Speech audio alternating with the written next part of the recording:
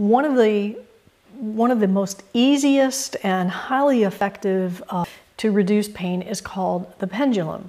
And I have seen so many um, incorrect instructional videos on how to do the pendulum.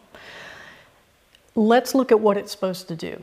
The pendulum is like what it's called. It's simply just letting the arm hang and letting the weight of the arm pull that ball and socket and open it up so that the weight of the arm pulls the humeral head of your arm down and creates more space in that area that I said was so tight.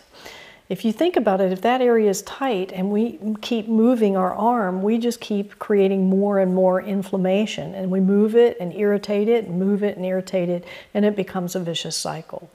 So what we want to do is create a little more space here so that we can get some blood flow and some healing going on as well as pain relief. So let's just try this. You're going to find a table and I'm going to say that it's my right shoulder. So you put your left foot in front. And for those of you that are in my Tai Chi class, it could be a bow stance.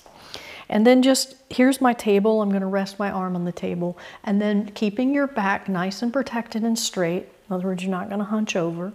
And let the arms simply just hang. And the hardest part about this is releasing any tension.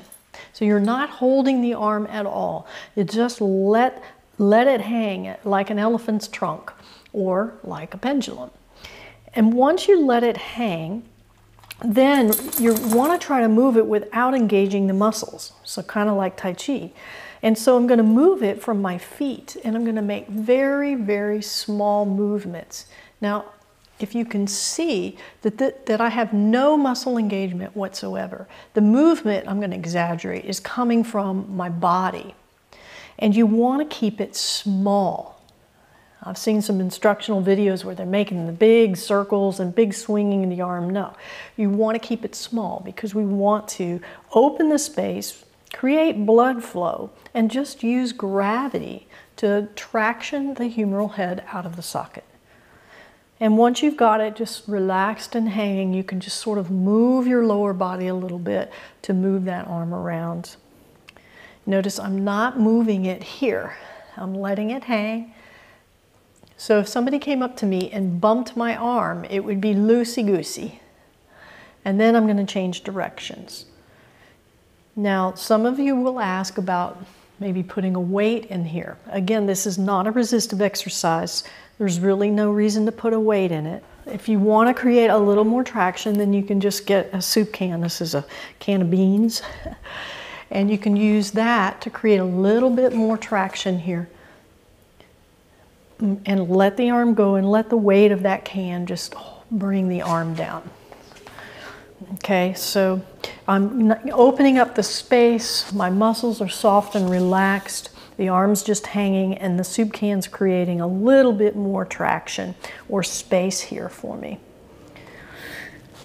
And you will be surprised how much that very simple strategy will help to relieve pain for you. And you, again, you can do it as many times in a day as you want. And there's not like, don't think I have to do 10 this way and 10 that way. Just do whatever feels comfortable. And you can do it anywhere. Just anytime your shoulder starts to ache or hurt, then just do a pendulum exercise.